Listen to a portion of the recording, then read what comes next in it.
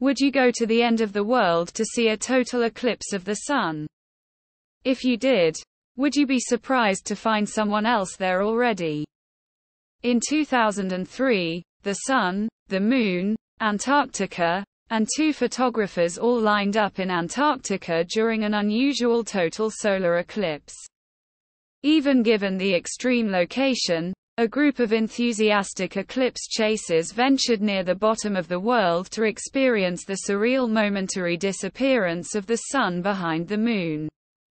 One of the treasures collected was the featured picture, a composite of four separate images digitally combined to realistically simulate how the adaptive human eye saw the eclipse.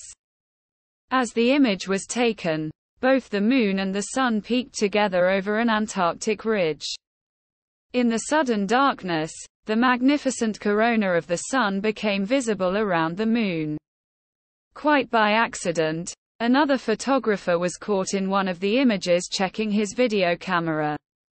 Visible to his left are an equipment bag and a collapsible chair.